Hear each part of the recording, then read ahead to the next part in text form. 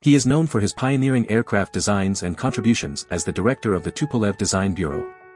He is recognized for designing over 100 types of civilian and military aircraft, setting numerous world records. His name is Andrei Nikolaevich Tupolev. In the world of aviation, one name stands out, Andrei Nikolaevich Tupolev, a Russian and later Soviet aeronautical engineer whose contributions to aircraft design have left an indelible mark on the industry. Born in Russia, Tupolev began his career as a protege of Nikolai Zhukovsky, a prominent figure in aeronautics. With his guidance, Tupolev went on to design and oversee the creation of over 100 types of civilian and military aircraft over the span of 50 years. Tupolev's innovative designs not only pushed the boundaries of aviation but also set an astonishing 78 world records.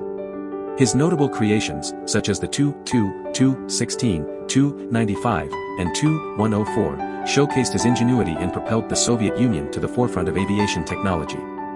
One of his remarkable achievements was the reverse engineering of the Tu-4, a strategic bomber that played a crucial role in the Soviet Union's military capabilities. The impact of Tupolev's work was not confined to the Soviet Union alone. His expertise and contributions were recognized globally, earning him prestigious titles and honors. Tupolev was awarded the Hero of Socialist Labor three times, received the Order of Lenin eight times, and was named an academician of the Russian Academy of Sciences.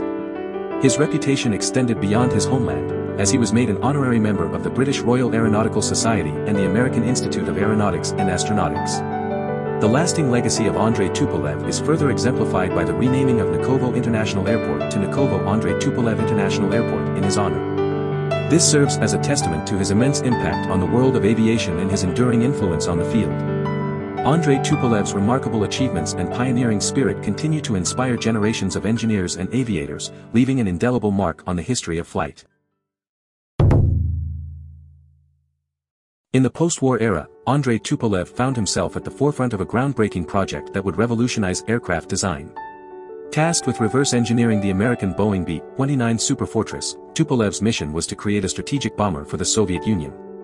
Despite the US repeatedly denying their requests for B-29s, Tupolev and his team successfully reconstructed the design using Russian engines, weapons, and equipment.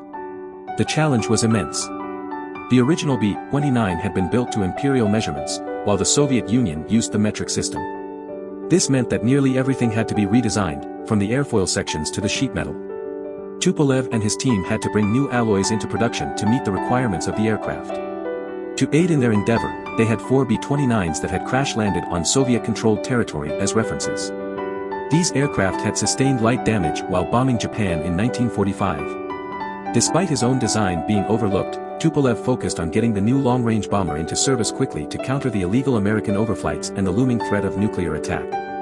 By 1947, Tupolev had several Tu-4 aircraft, the Soviet version of the B-29, ready for the May Day parade. This achievement showcased his ingenuity and determination to deliver results.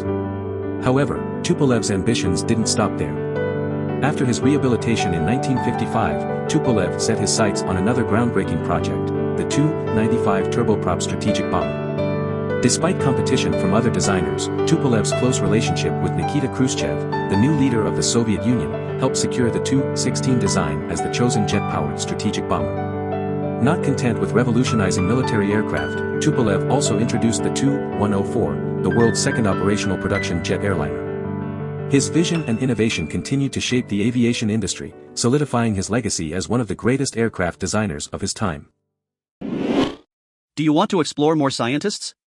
Who do you want to see featured next? Subscribe and leave a comment below to let me know. I'll see you in the next video.